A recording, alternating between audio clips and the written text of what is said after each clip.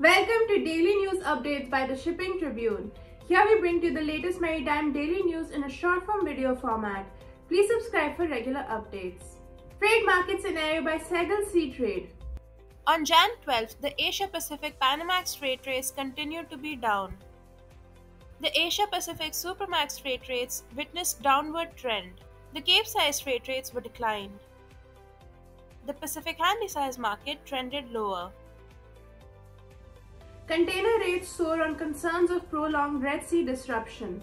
Container shipping rates for key global routes have soared this week, with US and UK airstrikes on Yemen stirring concerns of a prolonged disruption to global trade in Red Sea, one of the world's busiest routes, industry officials said on Friday. US and British warplanes, ships, and submarines launched dozens of strikes across Yemen overnight in retaliation against Iran backed Houthi forces for attacks on Red Sea shipping, widening regional conflict stemming from Israel's war in Gaza.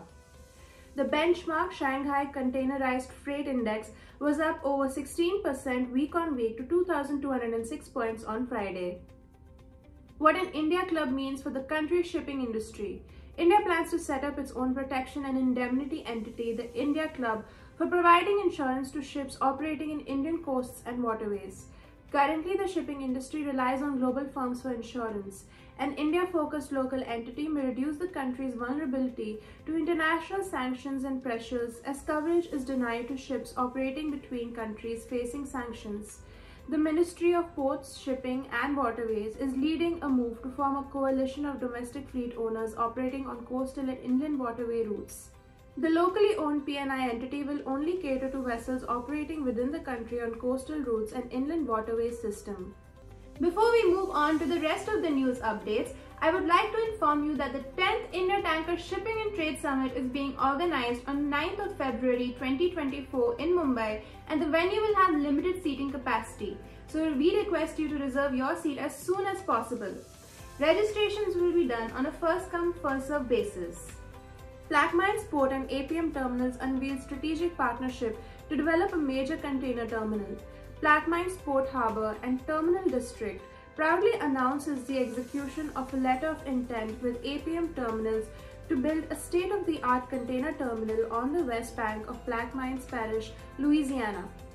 APMT is one of the largest terminal operators in the world and is a subsidiary of AP Moller Maersk, a global leader in logistics services. APMT currently operates four container terminals in the US.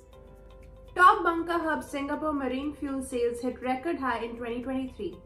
Marine fuel sales at world's leading bunkering hub in Singapore hit a record high last year, official data showed on Friday, driven by record container throughput and increased interest in biofuels. Bunker sales, including volumes of bio-blended fuels and liquefied natural gas, rose to 51.82 million metric tons, data from Singapore's Maritime and Port Authority showed.